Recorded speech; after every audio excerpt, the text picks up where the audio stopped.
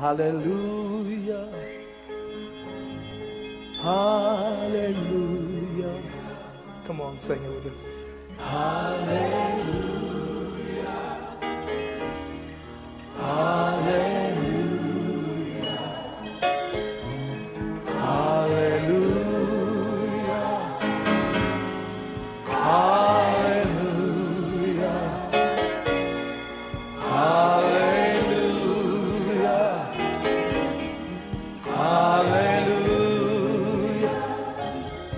Praise the Lord. The Bible says, let everything that hath breath praise the Lord.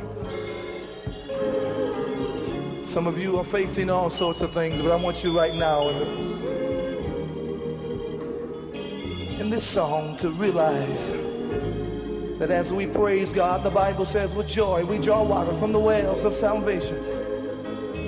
And in simple faith, if you just reach out and touch him, he's walking all up and down these aisles right now. And as that woman that had the issue of blood, she said, I believe if I'll just touch the hem of his garment, I'll be made whole.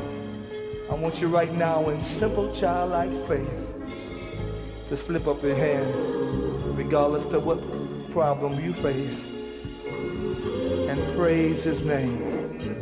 And he'll minister to you. Just in these short few moments, everybody, lift your hand. Hallelujah. That's right. Hallelujah. Hallelujah. Hallelujah. Hallelujah. Hallelujah.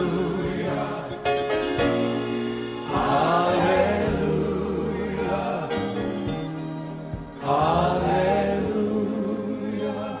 Those of you that have searched through Krishna for the Baha'i faith, or just searching through philosophy and religion. Religion is merely man's search for God. But we're speaking about a relationship.